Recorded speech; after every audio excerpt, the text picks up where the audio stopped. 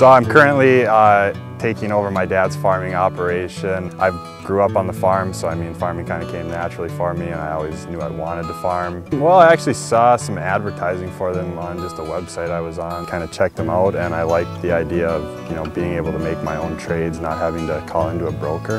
The cost is actually less than a full-service broker from what I've found. Um, the commissions are pretty cheap. Not only can you do it yourself, you don't have to, uh, to pay as much to, to deal with a broker. It's been a really good relationship with, with the Grain Hedge staff. If I have to get a hold of them there right away, I mean, and if Logan isn't available, I can talk to anybody else in the office and my questions are answered immediately. I would definitely recommend Grain Hedge. I think they're a great, uh, great service and I've had great success with them, so I'd recommend them to, to anybody. 嗯。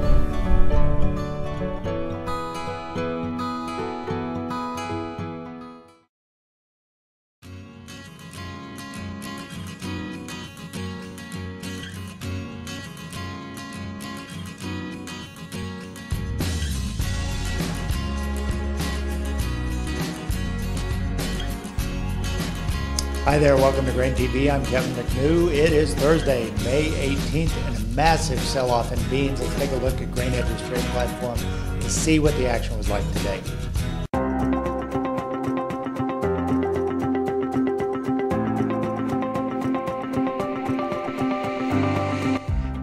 Beans were hammered overnight as news broke about corruption charges for Brazil's President Temer, sending the Brazilian real in a free fall. On the opening bell, soybeans tried to stabilize around 950 and spent most of the trade session bouncing between 950 and 955. But by mid-session, sellers pushed the market down into the 945 area. Going into the close, beans tried to make a run back to the 950 mark, but a quick wave of selling at the end kept the market at the day's lows. On the close, soybeans were off 30, corn was off 5, and wheat lost Welcome back. Let's see what was going on in the grain markets today. First of all, the major news was what was happening in Brazil. Late yesterday, after the markets had closed, there was a Newswire story that broke that Brazil's President Temer was recorded giving a bribe uh, to a potential witness in a corruption case. So that sent the Brazilian market sharply lower overnight. We started uh, the soybean market lower, uh, gapping lower in the sun in the uh, overnight session, and it just continued to uh, escalate to the downside as we moved throughout the day. We'll talk about the implications of that here in a second, but let's get back to the normal Thursday routine of export sales. These numbers on face value were strong compared to where we've seen the last few weeks, but obviously the news from Brazil was overshadowing things. Let's take a look at the data as it came out this morning. First of all, wheat came in better than expected on um, new crop, I'm sorry, on old crop delivery, 247,000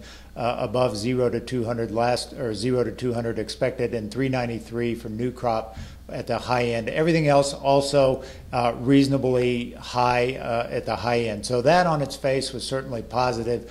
But again, the real news was what was going on in Brazil. The Brazilian real was sharply lower and was really the barometer for what was going on in soybeans today. At one point, the Brazilian real was off 8.5%. We were trading a little better than that, off only 6%. Uh, here at the taping of Grain TV. But you can see as we look at the Brazilian real chart just how dramatic this drop was today in reflection of the daily action up until now. Keep in mind that over this time period, go back to the lows in October, November, and you know we've seen the Brazilian real move higher. This has been what has stymied the Brazilian farmer from selling soybeans. They have not seen good prices because their Brazilian real has been going up, so they've been holding back beans from the world market. You know, numbers suggest they are 20 to 30 percent uh, below where they normally are sold for this time of year. So that has been the driving impetus of this. And today's action in the real will obviously reverse that. It will send potentially a flood of farmer selling into the marketplace. And so that was what the U.S. soybean market was responding to. So even though today's action was off 30 cents, that is only a 3% drop in value versus what is now a 6% drop in the Brazilian real with maybe more to come. So, you know, simple economics here. If the Brazilian real is off 6% and our U.S. price is off 3%, then that means we're 3% disadvantaged in terms of exporting beans. And so either our markets are going to need to correct lower or we're going to see uh, a big a big move away from U.S. purchases uh, or U.S. Uh, buyers of beans. So keep that in mind as we move forward. Looking at the July soybean action here, obviously a down day, 30 cents down, getting down to this 940 support, which has been the long-term support here on the weekly chart, going back all the way, first of all, uh, about a month ago, uh, and then all the way back into last harvest. So that is certainly, you know, a key market or a key uh, support level to be watching. We traded down to 943 today uh, bouncing a little bit above that on the close with a little bit of buying interest, but I wouldn't be surprised to see us break below that.